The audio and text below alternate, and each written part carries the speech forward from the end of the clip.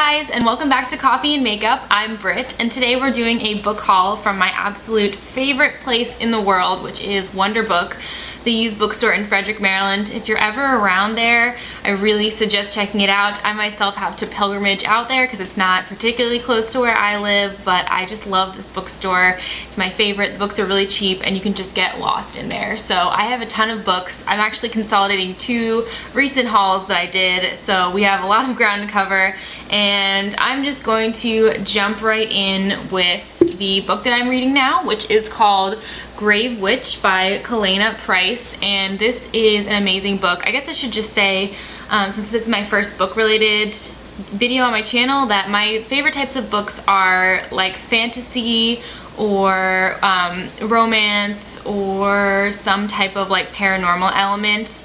Uh, just like something that's a little bit exciting and outside of the norm. Uh, I do accounting in my regular life, so I have enough boring stuff going on in my life, and I like a little bit of adventure and mystery. I also love mysteries. Um, so that's the kind of books that I like and this book has been so amazing so far. It's not too big and I like it because there's a bit of world building but it's not overwhelming.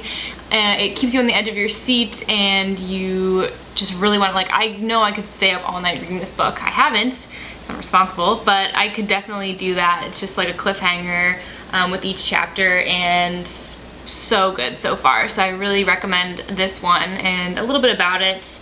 It's just about a woman who can talk to, I suppose, the memories of people who have died to figure out who killed them and she gets wrapped up and entangled in this very interesting magical mystery. So I really recommend Grave Witch, great book. So this month, I guess, at Wonder Book, there was a special on mystery novels and it was buy two, get two free. So of course I had to find at least four and I got two books from Tami Hoag, Guilty as Sin and The Ninth Girl. Haven't read either of these yet, but I got them because I just finished recently A Thin Dark Line, which is a pretty big one and I thought it was really good. The, it was a mystery and as are these two and the ending was a little bit unsatisfactory to me but I loved the character, the main character in this book. She's really well developed and strong, powerful woman which I like so I could really relate to the main character. I'm looking forward to reading The Ninth Girl and also Guilty as Sin. her good things about both of these. Then I needed to get two more mystery novels for free, so I picked this one called Black Dog. It's a crime novel about a missing girl. Haven't even started to read it yet, but sounded pretty good. I honestly had a hard time picking out the last two mysteries because I just didn't have any that were particularly calling to me, so I kind of picked one at random. That was this one. And then I also got Extreme Danger by Shannon McKenna. And the lady at the register gave me a hard time about this one because apparently it's actually more a romance than a mystery. And I was like, I didn't shelve it. That's not my problem. Got it in the mystery section, so she did give me the discount eventually. But this is a mystery about a girl who falls into harm's way just by chance um, when she takes a risk by skinny dipping in a stranger's pool. Oh my. So, eh, sounds pretty good. The next one I got was called Daughter of the Forest by Juliet Marillier.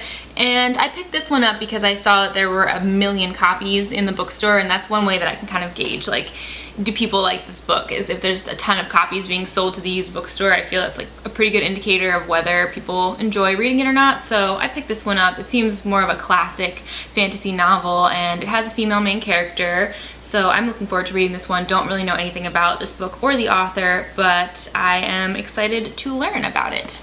Another book that I've already started reading is called The Name of the Wind by Patrick Rothfuss I began and then I pretty much gave up pretty early in because the main character is so annoying to me. For some reason, I just find the main character to be really full of himself and narcissistic and it really does not make for the best read ever. So I probably will try to pick up on it, but I I couldn't. I couldn't continue. I was just like, I'm moving on to something else because I just could not stand the personality of the main character. Then I found in the dollar bin this book, Eleutheria, I don't know really how to pronounce it, by Samuel Beckett. And I loved Waiting for Godot in high school. That was one of those high school novels that really resonated with me. I think everyone has one of those that they read it for a school project not thinking that it was going to be particularly meaningful and then they fell in love with it. That's how Waiting for Godot was for me. So I've also read a bunch of other Samuel Beckett works, not this one though, so I'm excited to read this and it was in the dollar bin so it was only a dollar. Great savings. Then I got the Banewreaker novel from Jacqueline Carey. Jacqueline Carey is one of my favorite authors. I started out reading her with her first series, which was the Kushiel series, the first book being Kushiel's Dart, and I recommend that book to anyone, I especially any lady out there because it has such an amazing female lead character, Phaedra. She is just everything. She's everything. And I really enjoyed that. Then I moved on to Jacqueline Carey's most recent series, which is the Agent of Hel series, and that is sort of a contemporary paranormal romance type, but it has so much more than that. Like, I don't just like just a romance novel. I really enjoy novels with romantic elements, but also a really interesting plot and amazing characters that you can get really attached to, and that was the Agent of Hel series for me. It was such a well-rounded book with all these great characters, and the last book made me cry. Like, I, and I hardly ever cry about books. So it was a very good series and now I'm circling back to Jacqueline Carey's Sundering series. This is the first book called Banewreaker and this is in more of the style of her original Kushiel books where it's like thy and thou and you know a little bit of the old English coming out. And I think much thicker than the Agent of Hel series and probably a lot more backstory and um, historical context, etc. But I'm looking forward to reading this one a lot. I love Jacqueline Carey. She's amazing. Then I picked up one of my favorite books from when I was a little girl. This is Green Rider by Kristen Britain. And I was introduced to this book by my aunt and my cousin many, many years ago. And I just remember loving this book. Uh, so much. Although I did start reading this just a little bit. Um, uh, a few weeks ago and it's definitely better suited to a younger reader I think because as an adult and I guess with more sophisticated taste now it is a pretty simple writing style and kind of a one-note character but I'm still going to read through the whole thing just for fun and nostalgia so I'm looking forward to that. Wonder Book has a ton of these novels by V.C. Andrews in the horror section. They're just everywhere and I was curious about them mostly because of these amazing covers. They have the little cutout with the person's face. Then you open it and there's this creepy scene inside. This one looks especially weird and bizarre. So that's what drew me to this book. And I have to say that it is absolutely awful. The writing style of V.C. Andrews is just beyond terrible and also kind of like racially insensitive. Um, it, this was just a weird one for me, but I bought it because of the cool cover, and that's really the only thing it has going for it. I'm not even going to finish this. I'm definitely going to give it to Goodwill or something because it just was not speaking to me at all.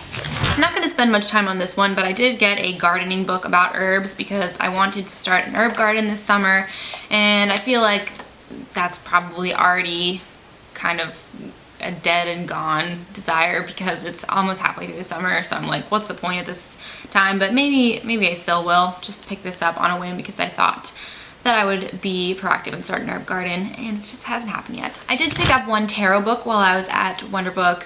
I have been getting really into reading tarot cards recently and I wanted to find a book that explained the pictures on the traditional Rider-Waite-Smith tarot cards because I just got a traditional style deck and I want to learn all of those symbols. So I picked this one up because of that, but I didn't really spend, I think, enough time looking at this book because it's it, you can tell that it's written in the 1970s and this is back when there are some misconceptions about even the origins of tarot. They thought it was like mystical, Egyptian, whatever, gypsies, magical, yeah, which has been, I consider, it completely debunked. Um, that tarot does not originate from Egypt and it's also kind of geared towards the whole fortune telling aspect like um, for this card King of Wands choose this card for a man with blue or hazel eyes and blonde hair which I mean it's just kind of hokey and there's a lot of things about like if a woman draws this card then it means that the young man I don't know, that she is attracted to something something. It's just, it's not really it's not really for me because I have been using tarot as more of a psychological tool to examine my problems and issues in life and also just kind of a fun party trick to do for my friends and I am not a particular believer in the spiritual aspects of tarot so or the fortune telling aspects so I don't really like this book too much but maybe I'll find some use for it. It does slightly describe all the symbolism in the picture, so that's a good start. Then lastly, a trip to the bookstore could not be complete without a Stephen King or a Dean Koontz novel. And this time I picked Stephen King's Lisey's Story. This is his self-described favorite novel that he has written, so I'm looking forward to reading this one a lot.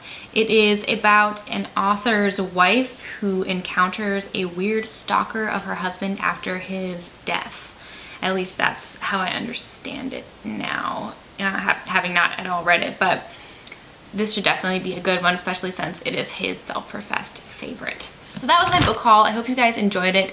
If you saw a book that you were interested in reading in that grouping, let me know. Maybe we can read it together and kind of discuss or form a Goodreads group. Oh, and leave your Goodreads account below if you have one and I will link mine as well. I have not been that active on it, but I will certainly try, especially if I can connect with some people on here who love reading as much as I do. So thanks guys for watching, and I hope you all are having a wonderful day or week wherever you are, and I will see you guys in my next video. Bye guys!